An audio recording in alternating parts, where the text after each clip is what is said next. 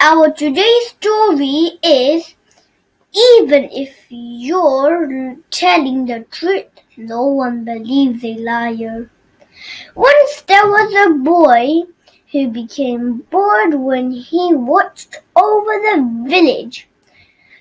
Sheep grazing on his hillside to enter- entertain himself, he sang out, Wolf! Wolf! The wolf is chasing the sheep. When, when the villagers heard the cry, they came running up the hill to drive the wolf away. But when they arrived, they saw no wolf. The wolf, the boy, was amused when seeing the angry faces. Don't scream, wolf boy, warned the villagers. When there is no wolf, they angrily went back down the hill. Later, the shepherd boy cried out once again, Wolf! Wolf! No! The wolf is chasing the sheep.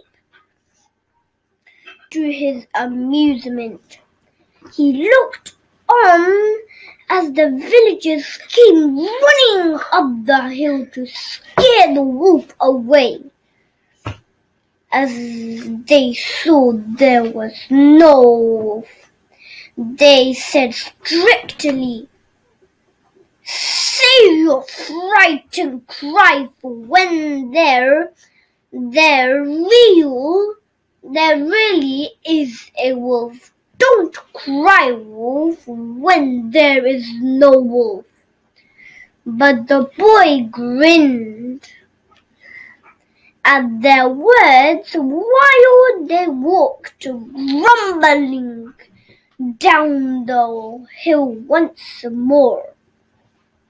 Later, the boy saw a little wolf sneaking around his flock. Alarmed, he jumped on his feet and cried out as loud as he could, Wolf! Wolf! But the villagers thought he was fooling them again and so they didn't come to help. A sunset the villagers went looking for the boy who hadn't returned with the sheep when they went up the hill. They found him weeping. There really was a wolf here.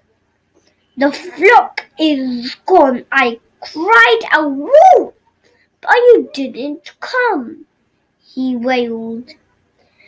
And an old man went to comfort the boy as he put his arm around him.